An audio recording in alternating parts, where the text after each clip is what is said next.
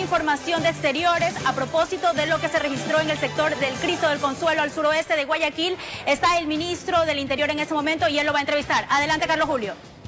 Hola, ¿qué tal? Efectivamente, compañeros, estamos con el ministro del Interior, Patricio Carrillo, quien ha llegado a esta zona y está dando declaraciones. Ministro, Ministro, ¿qué tal? De que les cobren 3 a 5 dólares a otras personas para poder ingresar al lugar, pese a los controles que hay. Sí, los habitantes hablan mucho ahora. Lo importante hubiera sido que denuncien antes para poder corregir. Ministro, estamos en vivo y en directo. ¿Qué tal? 11 allanamientos, 5 detenidos en este, en este hecho. Sí, cinco aprendidos con los 11 allanamientos, varios indicios, varios elementos que esperemos ayuden en la investigación. Ahora, ministro, se espera la- el informe de la Fiscalía para seguir con las investigaciones, ¿no? Sí, no, necesitamos, es la Fiscalía quien dirige, ha hecho ya las dos delegaciones, una delegación por homicidio y otra por terrorismo, y nosotros con las unidades de inteligencia e investigaciones que están fortalecidas acá en la ciudad de Guayaquil, continuaremos en la investigación. Armada y Policía Nacional en estado de excepción. Sí, señor. Perfecto. Muchas gracias, señor ministro.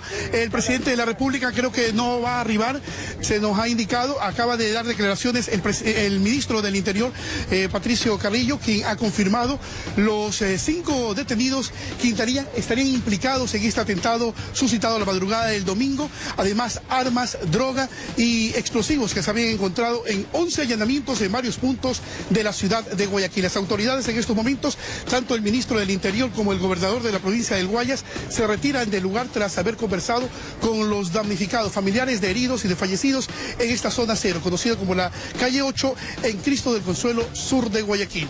Cuando son las 9 de la mañana con 45 minutos, despedimos este enlace y vamos con más información en Noticias de la Mañana. Muy buenos días.